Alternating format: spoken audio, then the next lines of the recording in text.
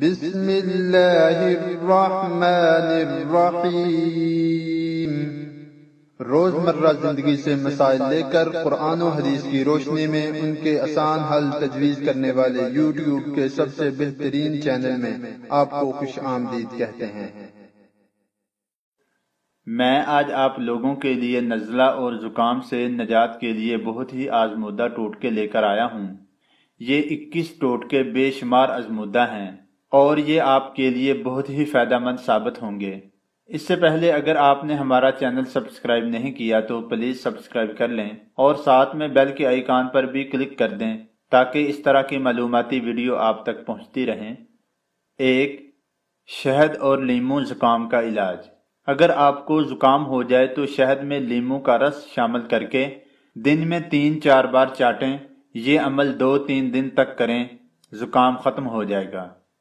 दो, नीम के पत्तों से जुकाम भगाइए। नजला व जुकाम भगाना हो तो नीम के ताज़े पत्तों को पानी में डालकर जोश दिलाएँ और फिर छान लें। फिर इस पानी में थोड़ा सा नमक डालकर इस महलूल से नाक धोएँ। ऐसे जैसे वज़ू करते वक्त नाक में पानी डालते हैं। चंद दफ़ा ऐसा करने से यकीनन अफाका होगा। तीन, रुई नाक पर रखें जुकाम खत्म। प्याज के अर्क को रुई में डुबोकर कुछ देर तक नाक पर रखें और ज़ोर ज़ोर से सांस लें तो जुकाम खत्म हो जाता है। चार, छींकें आ रही हों तो सर पर पानी डालें। अगर मुसलसल छींकें आ रही हों तो सर पर पानी डालें। ये टोटका अजमुद्दा है, छींकें रुक जाती हैं। पाँच, कहवा पिए, आराम आ जाएगा। अगर छींकें ना रुक रही हों तो 6 ग्राम मेथी दाना कूटकर इसको पानी में पकाकर 10-15 दिन सुबह सवेरे पिए, आराम आ जाएगा। छः जुकाम से बचने के लिए रात को सोने से पहले छह सात काली मिर्चें साबुत पानी से निगल लें। सात लसन के तीन जोए और जुकाम खत्म। रोज़ाना सुबह सवेरे लसन के दो तीन जोए चबाकर खाने से जुकाम नहीं होता।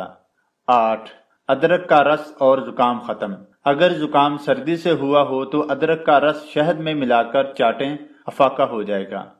नौ, बेसन का हलवा खाएँ, जुकाम न होगा। जुकाम रोकने के लिए बेसन का हलवा, बेसन के पकोड़े या सादा चपाती खाएँ।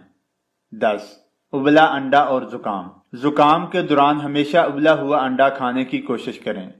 ग्यारह, एक गिलास पानी और जुकाम न होगा। एक चम्मच शहद और एक चम्मच अदरक का रस एक गिलास में सादा पानी मिलाकर दिन में दो तीन मरतबा पिए, अफाका होगा।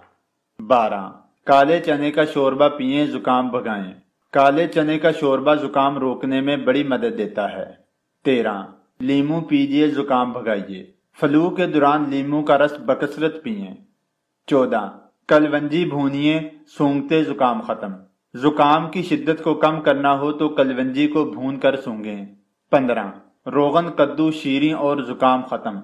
नजला बंद करना हो तो नीम गर्म दूध में एक चम्मच रोगन, कद्दू, शीरी मिलाकर सुबह व शाम पिए। सोलह। ईंट के टुकड़े को गर्म करके सिरके में भुजाकर सूंघने से जुकाम की शिद्दत में कमी आ जाती है। सत्रह, जुकाम से बचने के लिए जब भी नहाकर गुसल खाने से निकलें तो पाँव ज़रूर धो लें। अठारह, दहकते कोयलों से जुकाम भगाइए। दहकते कोयलों पर चीनी डालकर इसका धुआँ सूंघे, जुकाम की शिद्दत में कमी आ जाएगी। उन्नीस, खशखाश में शक्कर मिलाकर सोते वक्त खाएँ, ये जुकाम को रफा कर देता है। बीस आटे का छान जुकाम का इलाज। गंदम के आटे का छान पानी में पकाएँ और तीन चार उबाल आने के बाद इसमें चीनी डालकर इसे पिए। जुकाम रुक जाएगा। इक्कीस। लहसुन को उबालें, जुकाम खांसी खत्म। लहसुन को पानी में उबालकर सर्दी, जुकाम और खांसी के मरीजों को पिलाएँ, सब के लिए मुफीद है। अगर आज की हमारी वीडियो आपको अच्छी लगी हो तो उसको लाइक करें, शेयर करें और हमारे चैनल को सब्सक्राइब करना ना भूलें। अल्लाह हाफिज़।